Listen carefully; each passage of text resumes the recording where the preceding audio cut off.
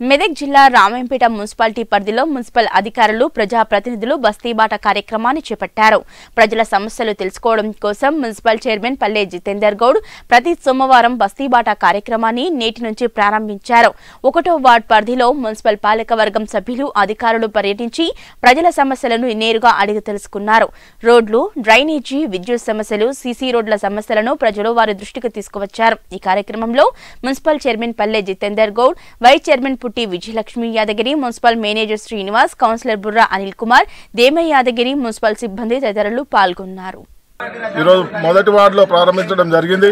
మరి- మరి ఈ కార్యక్రమాన్ని రూపకల్పన చేసినటువంటి శ్రీ చైర్మన్ శ్రీ పల్లె జితేందర్ గౌడ్ గారిని నేను ప్రత్యేకంగా అభినందిస్తున్నా. ఎందుకనంటే వార్డుల సమస్యలు ఎక్కడెక్కడ ఏమున్నాయి అన్నది చిన్న సమస్యలు పెద్ద సమస్యలు ఒకసారి వార్డుల తిరిగినప్పుడే మన దృష్టికి వస్తాయి కాబట్టి చక్కగా ఇప్పుడు ఈ ఫస్ట్ వార్డు నుంచి మొదలుకొని పన్నెండు వార్డులు కూడా పన్నెండు వారాల్లో పూర్తి చేసి అంటే చిన్న సమస్యలు అయితేనేమో వెంటనే పూర్తి చేసి పెద్ద సమస్యలు అయితే ఎమ్మెల్యే గారి దృష్టికి తీసుకెళ్ళి నిధులు మంజూరు చేసే బాధ్యత మన పైన ఉందని తెలియజేసుకుంటూ మరి అలాగే అన్ని వార్డులో కూడా కొన్ని సమస్యలు ఉన్నాయి.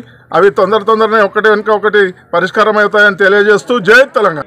అన్ని గృహాలను సందర్శిస్తూ ఎక్కడెక్కడ సమస్యలు ఉన్నావో ఆ సమస్యలను ఇంత క్రితం మన గౌరవ కౌన్సిలర్ సభ్యులు చెప్పిన విధంగా తాత్కాలిక సమస్యలను ఇమ్మడినే పరిష్కరిస్తూ దీర్ఘకాలిక సమస్యలను ఏ విధంగా అధిగమించడానికి నిధులకు ప్లాన్ చేసుకొని ఆ నిధులు మంజూరైన తర్వాత దీర్ఘకాలిక సమస్యలను పరిష్కరించడం జరుగుతుంది.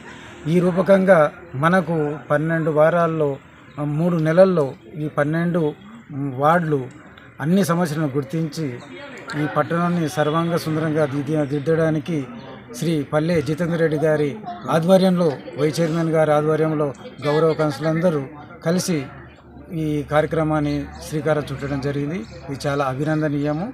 దీనిలో అందరూ పాల్గొని తమ సమస్యలను పరిష్కరించవలసిందిగా పట్టణవాసులకు విజ్ఞప్తి చేస్తున్నాను.